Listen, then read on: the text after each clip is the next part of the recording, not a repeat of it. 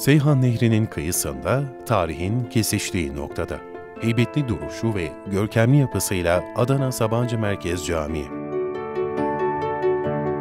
İhtişamı ile büyüleyen Adana'daki Sabancı Merkez Camii'nin her bir köşesi farklı şifrelerle dolu. Bu şifrelerden biri de minareleri. 99 metrelik altı minare Allah'ın 99 ismine karşılık geliyor.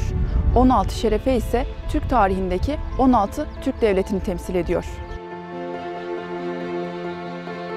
Caminin mimarisinde birbirinden ilgi çekici sır ve şifreler bulunuyor.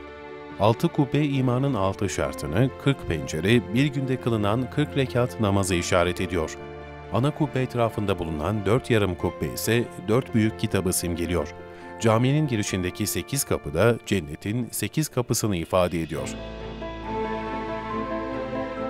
Osmanlı Türk medeniyet mimarisinin zirvelerinden biri olan İznik Çinisi de bu camide bulunuyor.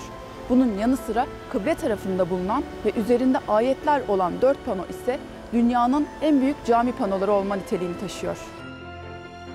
Minbere 23 basamakla çıkılıyor. Bununla da Hz. Muhammed'e Kur'an-ı Kerim'in 23 yılda indirilmesine atıf yapılıyor. Tavan işlemeleri ve süslü mihrap detayları büyüleyici özelliğiyle karşımıza çıkıyor. Adana Sabancı Merkez Camii 28.500 kişilik kapasitesiyle Türkiye'nin en büyük camilerinden biri olma özelliğini taşıyor.